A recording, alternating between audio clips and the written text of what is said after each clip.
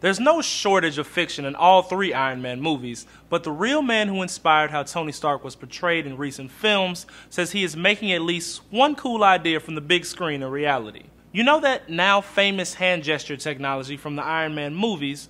Well, billionaire inventor Elon Musk said he can recreate that, tweeting, We figured out how to design rocket parts just with hand movements through the air. Seriously. Now need a high frame rate holograph generator. He followed that up by saying a video of the new tech will be uploaded next week. But if you think billionaires are way beyond getting ideas from comic book character movies, you'd be wrong. That's exactly where his idea came from. The director of Iron Man asked Musk if the new designing process was like the one in Iron Man, to which Musk responded, Yep, we saw it in the movie and made it real. Good idea. Now, this isn't the first attempt from the tech world to recreate everyday norms from Tony Stark's world. Developer Robbie Tilton made a video controlling this 3D image with Leap Motion gesture technology. No details have been given about how Musk plans to pull this off, but the tech world seems to be pretty excited about it. Gizmodo wrote, This better not be a joke. How could this not be cool? While CNET added, we're looking forward to next week's video. And just to put an end to that other rumor,